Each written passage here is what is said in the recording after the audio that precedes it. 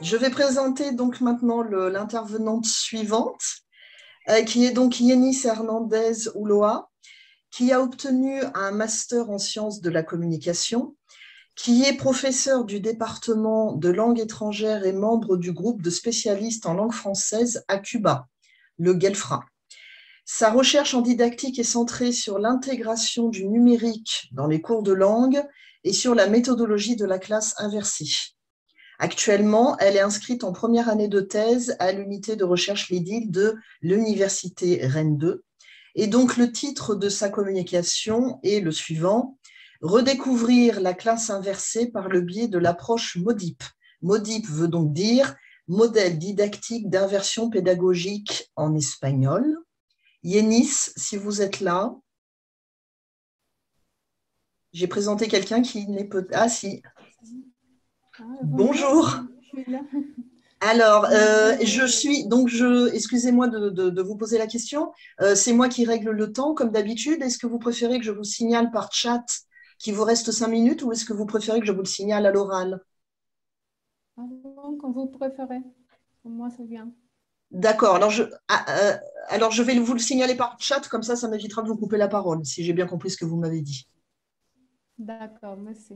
Merci à vous, je vous en prie. Vous avez la parole. juste, Yémis, est-ce que tu veux que, ce soit moi qui passe les diapos Oui, je suis en train de commencer, mais il est, voilà. impossible pour moi donc, euh, de, partager l'écran. Oui, donc je vais, je vais les faire pour toi.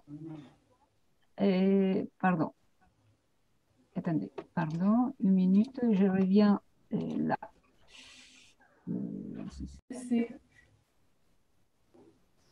Bonjour, chers collègues. Dans cette opportunité d'échange académique, je vais vous présenter mon projet de recherche euh, pour la mise en œuvre d'une découverte de la classe inversée par le biais de MODIP, que c'est un modèle d'inversion pédagogique en cours d'espagnol langue étrangère euh, dans l'enseignement supérieur.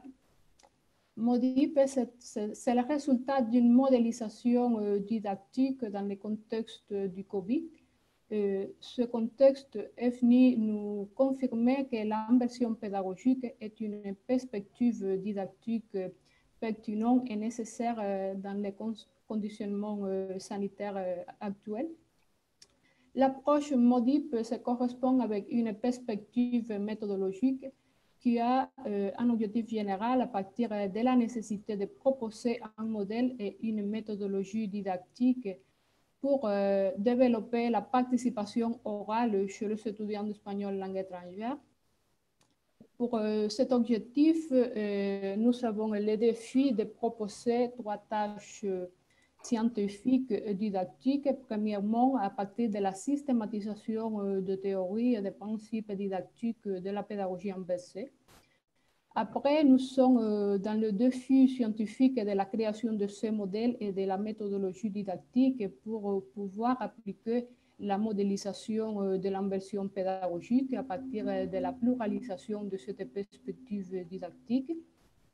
Et finalement, nous sommes en présence de la nécessité didactique de faire la validation de ce modèle MODIP et de sa méthodologie d'application pour réussir l'inversion pédagogique en cours d'espagnol langue étrangère. Suivant.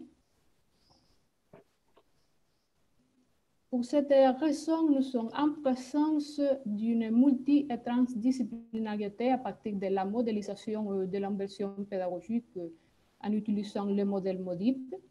Une multidisciplinarité qui voit de différentes sciences et disciplines Premièrement, de la pédagogie à partir des principes pédagogiques, des lois du processus d'enseignement-apprentissage, de la hybridation actuelle des processus d'apprentissage dans le contexte du COVID-19.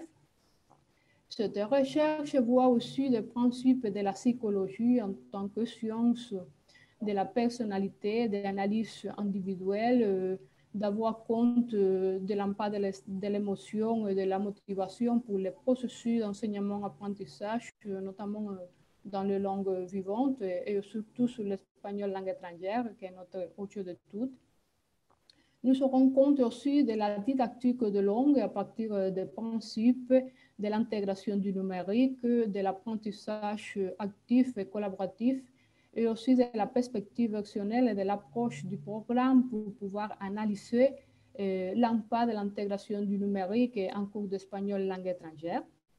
Cette perspective vise aussi des principes de la communication sociale à partir euh, de l'interprétation et de l'analyse de ce faits et des impacts de la rétroaction de l'interaction euh, de travail du père en même temps que des compétences langagières, des éléments suprasegmentaux dans les processus d'enseignement-apprentissage.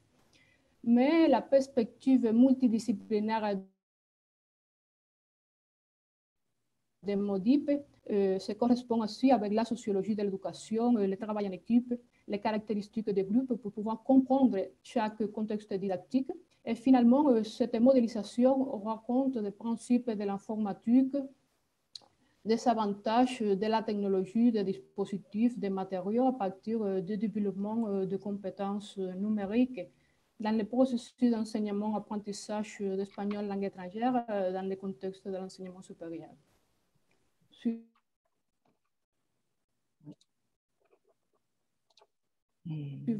Ah,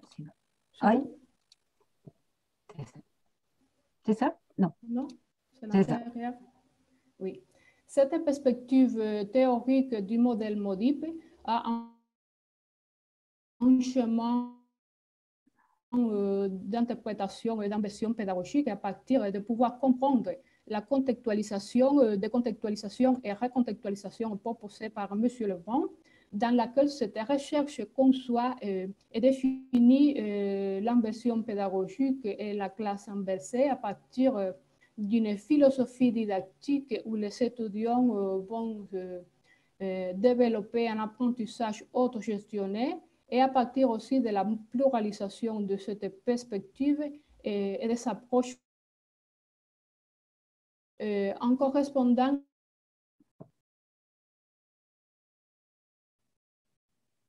avec cette perspective, nous sommes en présence, présents dans le processus d'enseignement-apprentissage euh, suivant.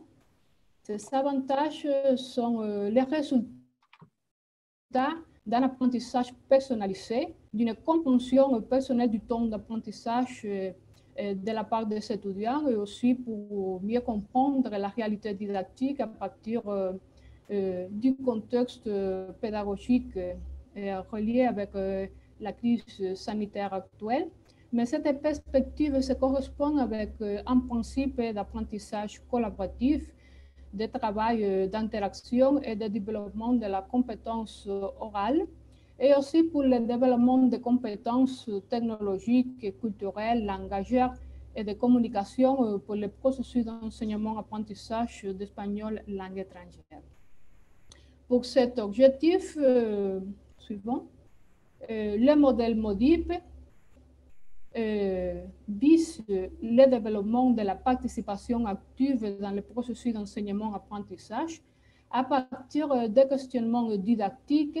Euh, premièrement, le questionnement sera pourquoi appliquer l'inversion pédagogique et la pluralisation de la classe inversée Quelles sont les causes, quels sont les principes didactiques qui se correspondent avec cette philosophie didactique?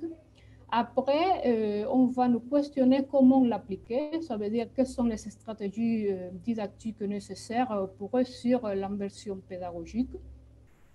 En même temps, on va nous questionner quelles seront les compétences, les matériaux nécessaires pour pouvoir appliquer cette perspective d'intégration numérique.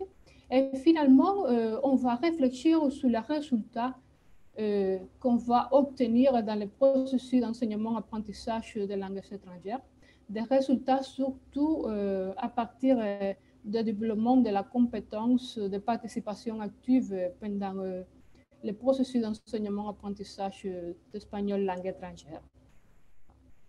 Suivant. Ces questionnements scientifiques sont les résultats d'une caractérisation d'un objet d'étude complexe et multidisciplinaire tel qu'elle est le processus d'enseignement-apprentissage d'espagnol langue étrangère. lesquels se correspondent avec une nécessité actuelle de pouvoir adapter la technologie à la pédagogie, à la didactique dans le contexte de la COVID-19 dans lesquels il est pertinent et nécessaire d'obtenir la participation active des étudiants qui sont en présence de créer théoriques numériques et langagières pour pouvoir développer ces processus dans le conditionnement actuel à partir d'une massification d'accès à Internet et aussi de la nécessité de diversifier les stratégies didactiques en fonction de l'intégration du numérique pour pouvoir faire face aux changements irréversibles dans les processus pédagogiques que nous vivons actuellement et en même temps pour pouvoir développer l'efficacité de ce processus d'enseignement-apprentissage dans l'enseignement supérieur et pour finalement pouvoir vivre de manière innovatrice cette révolution didactique et technologique dans le contexte actuel. Cela nous conduit par l'analyse de des catégories de la recherche suivante.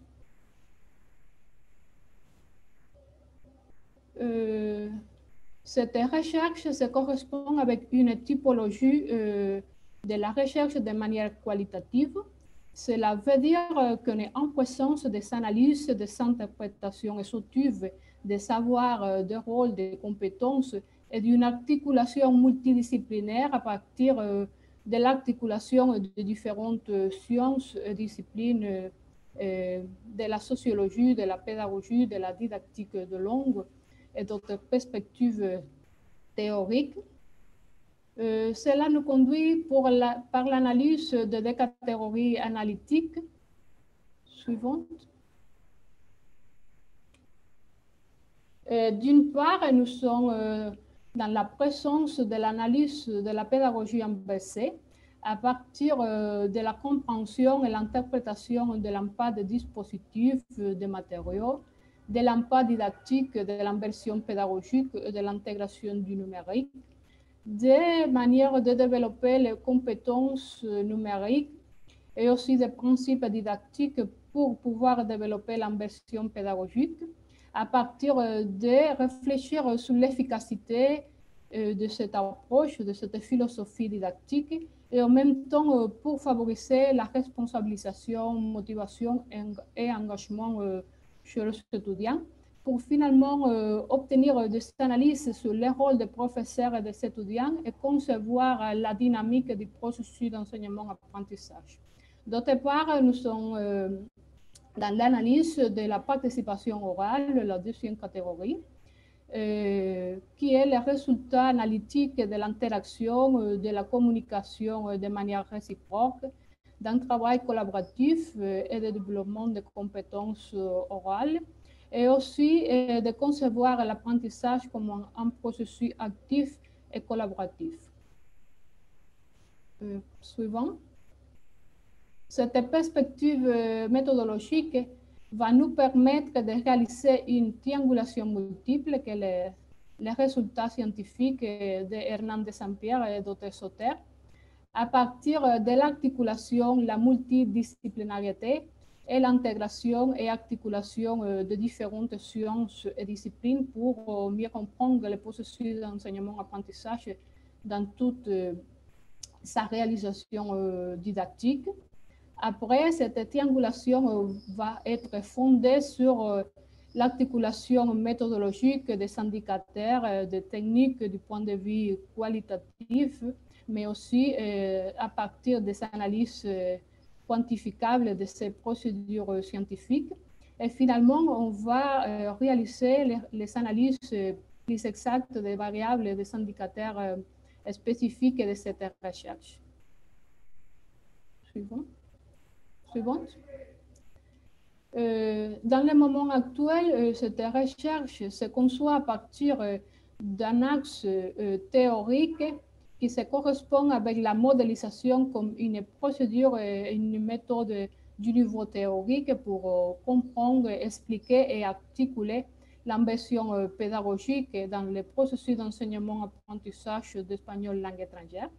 Et d'autre part, euh, nous proposons une méthodologie d'application euh, du modèle MODIP dans différents euh, moments didactiques dans différentes phases qui sont en relation directe avec le contexte du COVID-19 à partir de l'application des dispositifs de matériaux numériques pour nous confirmer que le processus d'enseignement et d'apprentissage est possible euh, despite de conditions sanitaires précaires. Suivant. Le modèle MODIP, on a conçu ce modèle à partir de la configuration de trois moments euh, fondamentaux du processus d'enseignement-apprentissage. C'est un modèle un peu différent, euh, c'est un modèle un peu différent euh, de la mm, division entre hors la classe et pendant la classe parce qu'il conçoit deux moments hors la classe. Un premier moment que c'est un processus d'enseignement-apprentissage de manière autogestionnée cette recherche préfère la catégorie autogestionnée plutôt qu'en autonomie parce que cela permet de comprendre le processus d'enseignement-apprentissage plus actif chez les étudiants qui vont être les protagonistes et, les acteurs principaux de son propre processus d'apprentissage. Après, on va concevoir un processus de socialisation à partir de l'utilisation de différents réseaux sociaux, des matériaux, des dispositifs, des plateformes en ligne, des, environnements numériques de travail dans lesquels il est possible de euh, faire des interactions, des collaborations, euh, de réflexions, des échanges et coopérations comme des processus fondamentaux pour euh, un apprentissage actif et collaboratif. Et finalement, il y a un moment pendant la classe pour le travail en équipe, la communication, le développement euh, de compétences orales et en même temps euh, pour la collaboration et coévaluation. C'est pour tout cela que le modèle MODIP a dans son corpus didactique la participation active et la pensée réflexive pour concevoir un apprentissage autogestionné et participatif. Euh, pour l'application de la méthodologie didactique de ce modèle, on a conçu, suivante, on a conçu une planification euh, dans ce contexte d'application du modèle à partir euh, de l'organisation du travail, une organisation qui sera caractérisée pour l'analyse et la préparation euh, et la confection de différents dispositifs matériaux. Chez les professeurs et en même temps chez les étudiants. Un deuxième moment pour l'application des MODIP qui va se concevoir à partir du mois de septembre 2021, qui va nous permettre de réfléchir sur les avantages de cette méthodologie et finalement un moment pour l'évaluation et validation de, ces résultats scientifiques et didactiques pour pouvoir redécouvrir et recontextualiser la classe inversée dans les cours d'espagnol langue étrangère. Suivante. C'est un exemple de l'application de ce modèle à partir de l'emploi de dispositifs numériques, à partir des processus de socialisation euh, en utilisant les réseaux sociaux et finalement pour concevoir euh, les moments de la classe pour euh, la communication et la participation, qui sera une méthodologie centrée essentiellement sur l'étudiant et sur les sphères cognitives, affectives et comportementales. cette rénovation didactique suivante pourra nous permettre de réfléchir suivante. Euh, une modélisation à partir euh, des compétences et de l'intégration du numérique qui pourra faciliter l'interaction et les capacités, mais surtout la réflexion, l'action et l'autonomie et autogestion euh, chez les professeurs pour donner aux étudiants un rôle plus actif. suivante. Yénis, excusez-moi, il vous reste quatre minutes.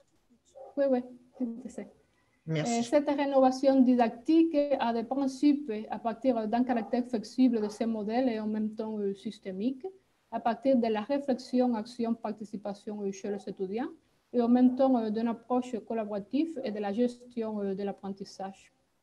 Actuellement, suivante, nous travaillons dans un diagnostic du contexte didactique et de l'ANSAT pour lequel on a choisi un échantillon suivant on a choisi un échantillon de 200 étudiants euh, de contexte de l'ANSAT. On inclut le cours euh, de licence, de master et de traduction pour commencer à appliquer les, indicateurs et les catégories analytiques du modèle MODIP. On va aussi appliquer d'autres techniques suivantes, telles que la validation des experts, le interview et l'observation pédagogique en même temps que les analyses de programmes, de documents, de publications en ligne et de l'inclusion de tous les dispositifs nécessaires pour réussir l'ambition pédagogique. finalement, suivante. Finalement, je vous donne un grand merci pour votre attention. Je vous invite à redécouvrir les avantages didactiques de l'inversion pédagogique à partir de la réflexion sur notre présent, sur euh, notre fonction didactique et finalement pour les avantages futurs de cette philosophie didactique et pédagogique dans nos cours de langue. Merci beaucoup, Yanis. Nous avons donc 10 euh, minutes de questions avant la, conclusion euh, de la journée d'études par euh, Aura et Christine. Donc, pour l'instant, il y a des applaudissements. Est-ce qu'il y a des questions, soit dans le chat, soit avec la petite main électronique?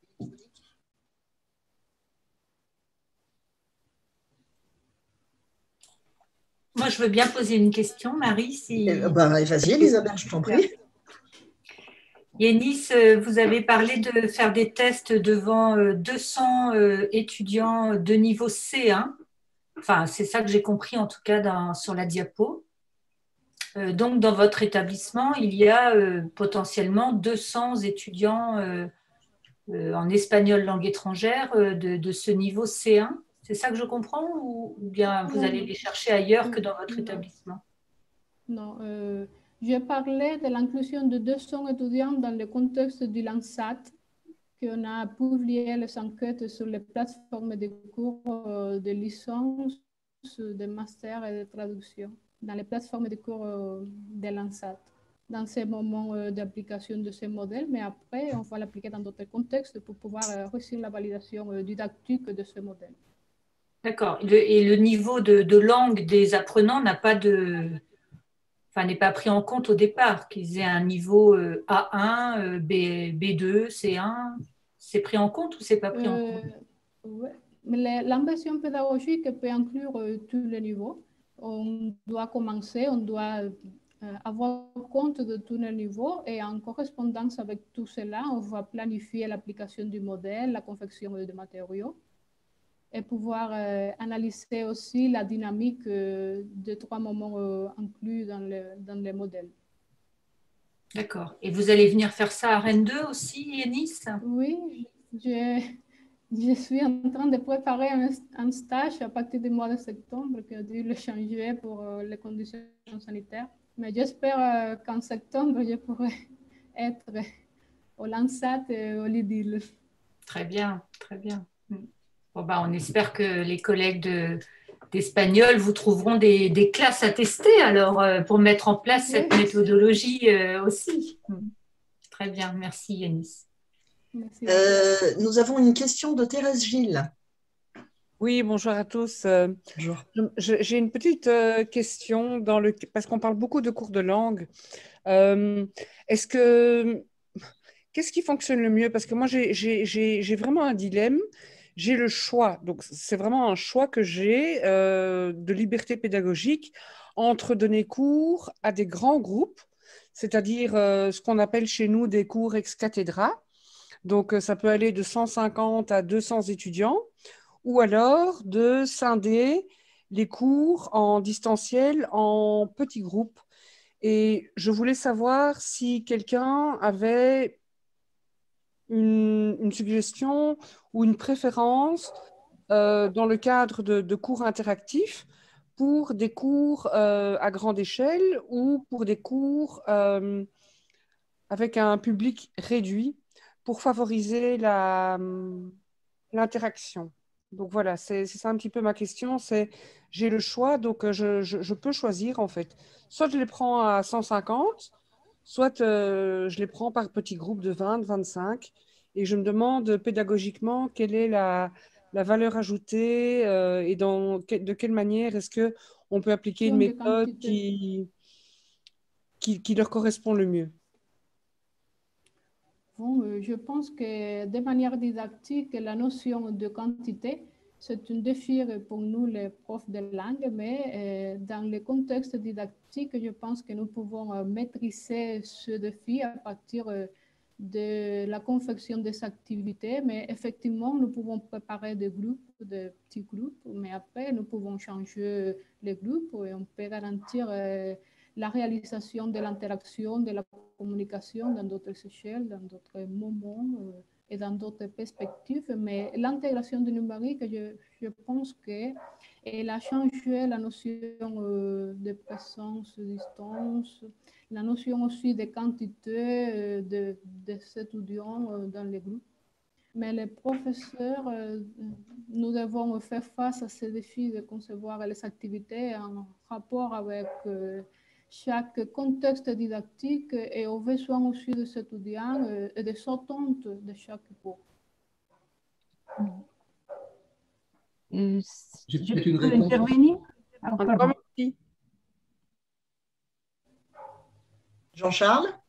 Non, parce que j'avais une réponse à apporter à Thérèse. Moi, j'ai assisté à une classe inversée à Boston, 250 élèves dans la même, dans la même salle, euh, un cours de physique, mais avec de la technologie. Mon, avis, c'est que plus il y a d'élèves, plus c'est compliqué à mettre en place, et il faut, adapter. Donc, il ne faut pas prendre, un scénario de classe inversée qui fonctionne à 20 élèves et si on a 200 élèves euh, multipliés par 10, ça, ça ne fonctionne pas. Donc, euh, il faut vraiment, il peut y avoir des petits groupes, des moyens ou des gros, mais il faut à chaque fois créer la classe. Donc, si vous, si vous prenez une classe qui marche très bien, une méthode qui marche super bien, et si vous doublez le nombre d'élèves, d'un seul coup, ça peut être une catastrophe. Donc, euh, il faut vraiment adapter en fonction du nombre. Ça, c'est vraiment important. Hein. Ce n'est pas, pas quelque chose de linéaire. Hein. Oui, oui. Merci. Il n'y a pas de recette unique et mhm. universelle. Aura, c'est à toi. Et oui, je voulais juste ajouter que bon, la question de la participation, l'interaction euh, des étudiants, c'est pas propre à la classe inversée, ça on peut l'appliquer n'importe dans quel cours classique. Et donc, euh, pour moi, ce qui est très important, euh, d'après mon expérience, c'est plutôt la confiance qu'on donne aux étudiants pour pouvoir participer, pour pouvoir, pour pouvoir s'exprimer. Parce qu'on peut pas, des fois, on ne fait pas des classes inversées, mais il y a une très bonne participation. Parce que tout le monde se sent en confiance, tout le monde euh, sait qu'on ne va pas le corriger, donc euh, il y a un climat de confiance. Et je crois que ça, c'est très important. Et aussi, j'ai vu comme Jean-Charles également un cas d'un conférencier devant 1000 étudiants, je crois, il donnait une, euh, une conférence sur la psychologie. Et je crois qu'il il avait plus de 1000 étudiants, 1000 étudiants. Et finalement, euh, petit à petit, le public a commencé à faire des questions, de répondre entre eux-mêmes. Et on a vu finalement dans un grand nombre de, de participants qu'il avait des gens qui communiquaient finalement entre eux. Vous voyez, petit à petit, le conférencier a su motiver cette dynamique de la confiance, de la participation. Je crois que c'est très important qu'il faut peut-être instaurer dans nos, dans nos cours pour euh, motiver cette participation. Est-ce qu'il y a une autre question avant qu'on passe au bilan? Et éventuellement, ceux qui ont posé des questions dans le chat, euh, euh, on n'a pas eu le temps de prendre. Hein, c'est le moment éventuellement. Alors, attends, je vais les retrouver en espérant que le chat n'a pas été. Euh, que les questions n'ont pas été posées avant que. Ah, alors, le, chat est réinitialisé après. Oui. donc je n'ai plus les questions. il y avait deux questions que je ne suis plus, que je n'ai plus parce que le chat a été réinitialisé. Et ce sont deux questions qui ont été posées par des personnes qui sont parties. Ah, Et je me souviens bien. Donc, euh, voilà. Euh, je voulais simplement revenir sur chacune de ces conférences plénières euh, et en, extraire la, substantifique moelle. Donc, on a, on a démarré la journée en s'interrogeant sur ce concept de classe inversée, puisqu'il s'agit, selon, pour reprendre le terme de Marcel Lebrun, d'un véritable tsunami qui est accentué par euh, la, crise sanitaire, puisque cette crise questionne les rôles euh, de chacun. Euh, les savoirs sont détrônés, comme l'a indiqué Marcel Lebrun. Il nous a également éclairé sur un certain nombre de, concepts en donnant aussi des définitions. Hein. On a tour à tour examiné la définition de classe inversée, hein, leçon à la maison, devoir en classe. On a examiné également les notions de capacité, compétences et euh, acquis d'apprentissage ou learning outcomes. On a parlé également euh, de, toute une théorie autour de la classe inversée euh, qui finalement fait de la formation une mise à disposition du, futur qui est formé d'occasions où, où, nos apprenants pourront continuer à apprendre et inventer.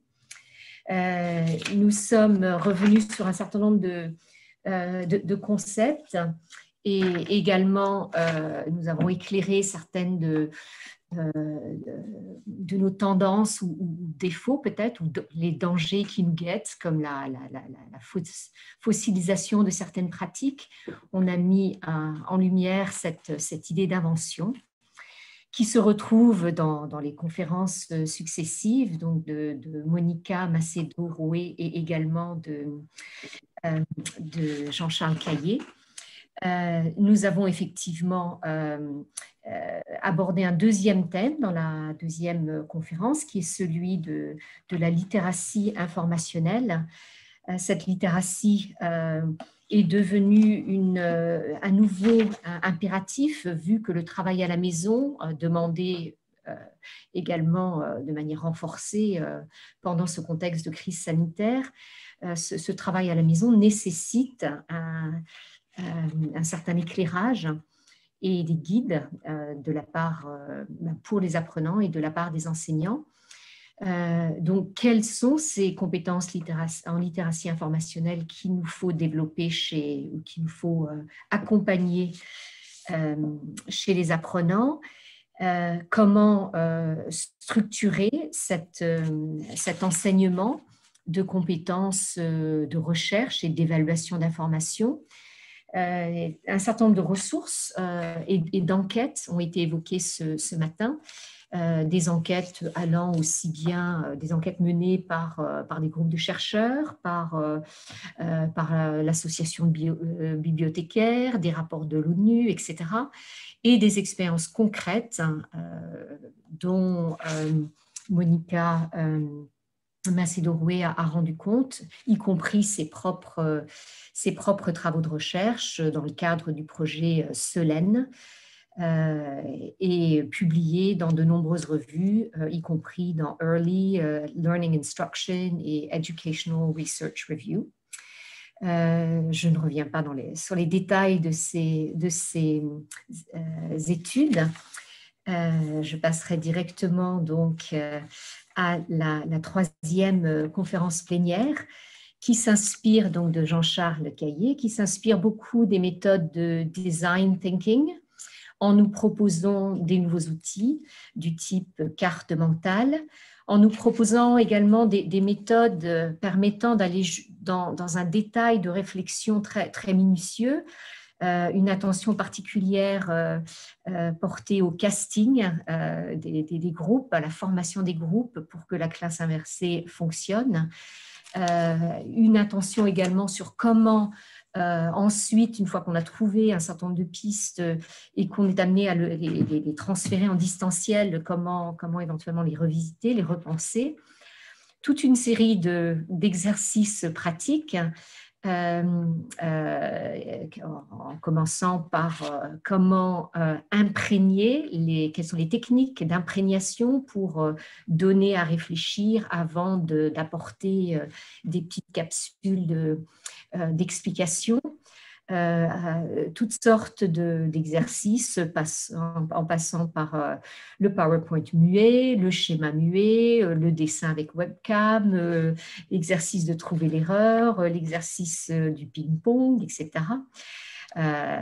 quelques pistes de réflexion également sur les systèmes de notation, comment coupler système de notation par les pairs et système de l'enseignant, comment également réfléchir ces systèmes, les donner à, voir et à comprendre euh, pour, euh, les apprenants? Euh, quelques pistes de réflexion également sur les examens. Bref, toute une panoplie de, trouvailles directement transférables à nos différentes matières et très pratiques pour qu'on puisse tout de suite se questionner notre manière de, pour mettre en pratique ces différents éléments. Nous arrivons ensuite sur les, deux communications de nos doctorants euh, qui nous offrent des exemples concrets. Alors, euh, Dolly nous offre des, euh, des, exemples concrets de ce qui est réalisé dans sa, classe d'espagnol avec bon nombre d'exemples illustrés de réalisation d'étudiants un retour également sur euh, la perception des étudiants de, de ces différentes euh, propositions pédagogiques. Euh, quant à Yenis, elle modélise cette approche hein, en nous proposant ce modèle didactique d'inversion pédagogique en espagnol, avec des perspectives de mise en pratique sur différents publics. Donc, moi, je tiens à, remercier l'ensemble des participants à cette journée pour, euh, pour cet apport. Je pense que Aura euh, complétera les, euh, les, les, remerciements, peut-être également ouvrir encore sur des pistes de réflexion. Je, remercie également tous les participants. Euh, nous avons été très nombreux. À un moment donné, euh, on n'était pas loin d'une cinquantaine. Bon, bien sûr, ça fluctue en fonction des, impératifs et des, contraintes de chacun. Merci pour vos questions. Merci pour votre intérêt. Et je passe donc la parole à, Aura.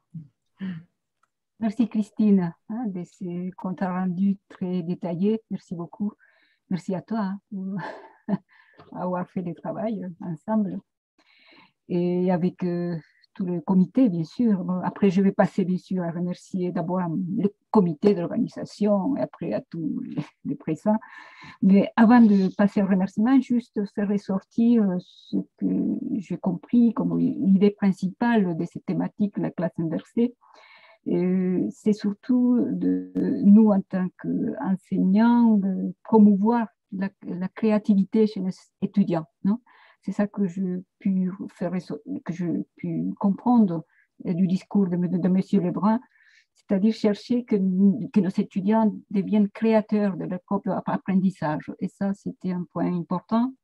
Euh, et également euh, pour le discours de, de, M. Caillès, l'importance de pouvoir proposer des cours hybrides, hein, parce que ce sont de, euh, ce sont deux, moyens pour pouvoir répondre aux besoins des étudiants, leur faire euh, des acteurs dans leur apprentissage également. Hein. Et aussi innover nos cours. L'innovation du cours, euh, comme disait M. Caillès, ne dépend pas de, des aspects technologiques, mais il faut le faire avec les étudiants. Donc, ça, c'est une idée importante aussi. Et, voilà. Et, ensuite, on a vu avec les deux, deux communications, les projets, hein, des, expériences qui ont été déjà faites et aussi les projets avec euh. Qu'est-ce qu'on peut faire avec euh, cette thématique de la classe inversée après le Covid, non, le post-Covid. Vous voyez, c'est une recherche déjà en train de se, faire. Et, nous aussi, qu'est-ce qu'on peut faire après avec toutes ces, ces idées très intéressantes? Qu'est-ce qu'on peut faire pour euh, nous améliorer et, voilà, et devenir innovateurs de notre, euh, de notre, de notre fonction d'enseigner, non? Comment on va innover notre cours. Voilà, ce sont des idées que pour moi, j'ai pu relever. Et maintenant, je vais passer au remerciement. Voilà, d'abord, remercie au comité d'organisation, Marie, hein, Marie Babarin, vous l'avez entendu, mais et aussi euh, Marie Châtelain, Émiline également, voilà, toi, ma chérie, Christine, bien sûr, et, également aux, intervenants. Monsieur Caillès, vous êtes resté jusqu'à la fin. C'est vraiment sympathique, vous voyez. Vous, on se voit que vous êtes une personne euh, qui prend à cœur voilà, quelque chose qui, qui vous intéresse. Et je vous remercie beaucoup hein, d'être resté jusqu'à la fin. Et aussi à tous, vous voyez, nous avons 18 participants ici. Vous êtes courageux, c'est une journée longue, on a commencé à 9h et vous êtes resté jusqu'à bientôt 4h20. C'est quand même, quand même une journée lourde, surtout face à l'ordinateur. Et donc, merci infiniment à vous tous, à, à, notre, à notre charismatique directrice Elisabeth Richard, qui est là, qui aussi nous a soutenus pour cette journée d'études. À vous tous, voilà, on se retrouvera peut-être une autre prochaine fois sur une autre thématique. Et voilà, et donc merci infiniment. Et on va continuer, c'est que le début, hein. on va continuer avec d'autres thématiques qui vont nous amener à nous enrichir personnellement et aussi intellectuellement. Voilà. Merci beaucoup. Ça y est. bon. Dans le chat des, des, commentaires intéressants. Euh, la confiance est, la, est, une des conditions pour euh, pouvoir innover avec les étudiants et puis réussir avec eux. Euh, bref, des, un certain nombre de, de, commentaires dans le chat. Donc, je, je vous laisse les découvrir avant, avant de fermer cette séance. Et je ne sais pas si Elisabeth veut dire un petit mot quand même. On a dit très charismatique Elisabeth, donc il faut lui donner la parole. Merci beaucoup pour euh, me donner euh, cette parole à la fin. Merci à, tous de, votre présence et d'avoir organisé cette journée d'études qui était prévue depuis un moment, pas forcément en classe virtuelle, mais finalement ça a aussi euh, des côtés positifs. En tout cas, euh, Monsieur Caillès, merci beaucoup d'être resté jusqu'à la fin. Et je voudrais vous dire, Monsieur Caillès, que ce que j'ai retenu euh, de, votre exposé, mais en plus j'ai entendu que le début, parce qu'après j'avais plus de Wi-Fi, donc j'ai été coupée.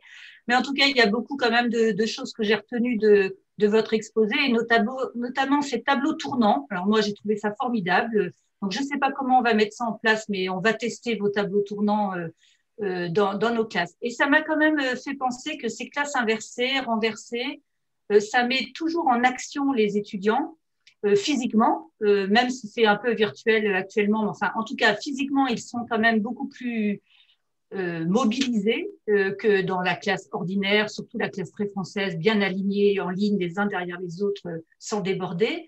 Donc ça, c'est quelque chose qu'on a du mal à faire à l'université, c'est de mettre en, mouvement physique les, étudiants. Mais euh, à l'IDIL, euh, ça sera mon dernier mot, nous avons monté tout un tas de projets. Euh, nous avons même déposé tout un tas de projets euh, financés euh, qui n'attendent plus que les financements maintenant. donc, on, saura au mois de juin si nos, projets ont été retenus ou pas, pour pouvoir mettre en place des salles euh, pédagogique euh, un peu innovante, euh, à la fois une salle très numérique, ça c'est pour faire travailler Dolly sur, sur le numérique, mais aussi une salle sans, sans forcément de numérique, justement. On voulait aussi avoir une salle vraiment crayon, papier, découpage, collage, pour pouvoir travailler avec les apprenants sur d'autres modèles que les modèles numériques.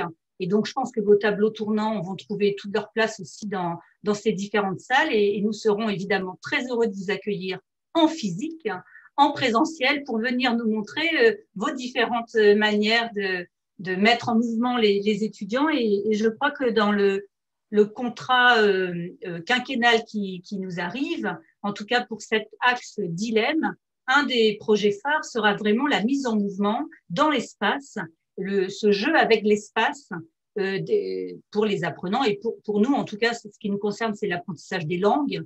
Et donc, comment euh, jouer aussi avec l'espace et les espaces numériques et non numériques pour euh, l'apprentissage des langues. Et là, tous les modèles de classe inversée que, les uns et les autres ont pu nous, montrer aujourd'hui, je, trouve, en tout cas, nous donnent aussi des, modèles à expérimenter physiquement, quand on aura un peu de physique, dans nos salles expérimentales. Voilà, ce sera mon petit mot de la fin pour l'avenir. en tout cas, j'espère qu'on pourra. Catherine, je vois qu'elle est présente. elle sera contente aussi d'entendre que, voilà, dans nos salles expérimentales, il y aura de quoi nourrir des expérimentations vraiment à la fois numériques et, physiques avec les apprenants des langues. Eh bien, merci à tous. Je, lis le, commentaire de, de Jean Caillé, qui était effectivement à Rennes il n'y a, pas si longtemps, en mois de février. Donc, on a, des chances, euh, peut-être pour un temps, euh, l'attirer à nouveau dans, nos nouveaux espaces qui sont en cours de, en cours de, confection, déjà dans notre tête. Et puis, oui, déjà dans la tête. voilà.